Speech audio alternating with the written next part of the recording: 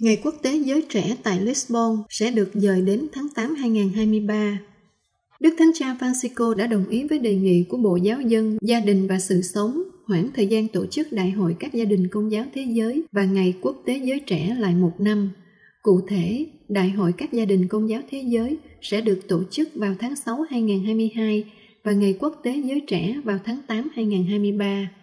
Ngày Quốc tế Giới Trẻ tại Lisbon vào tháng 8 2023. Thông cáo của Phòng báo chí Tòa Thánh cho biết do tình hình y tế hiện nay và hậu quả của nó đối với phong trào và các cuộc gặp gỡ của những người trẻ và các gia đình, Đại hội các gia đình công giáo thế giới tại Roma sẽ dời đến tháng 6 2022 và Ngày Quốc tế Giới Trẻ tại Lisbon, Bồ Đào Nha sẽ được dời đến tháng 8 2023.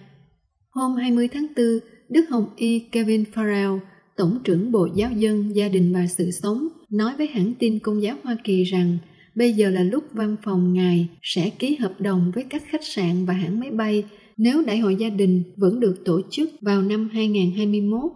Nhưng không ai biết điều gì sẽ xảy ra, vì vậy sẽ là khôn ngoan thận trọng khi dời đại hội lại một năm.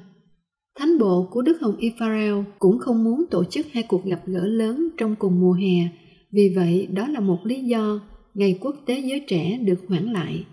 Còn một lý do khác nữa là mặc dù người ta đang nói đến việc trở lại bình thường và các lãnh đạo chính quyền đang lên kế hoạch gỡ bỏ lệnh phong tỏa và mở cửa lại các doanh nghiệp, nhưng Đức Hồng Y không nghĩ rằng việc đi lại sẽ sớm được mở rộng lại.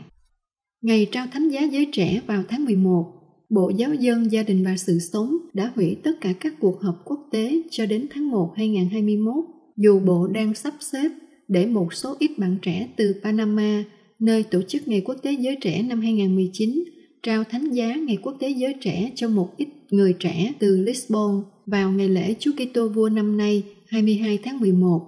Sự kiện này được dự định vào Chúa Nhật lễ lá ngày 5 tháng 4 vừa qua, nhưng phải bị hoãn lại do lệnh phong tỏa và cấm đi lại để ngăn chặn sự lây lan virus corona.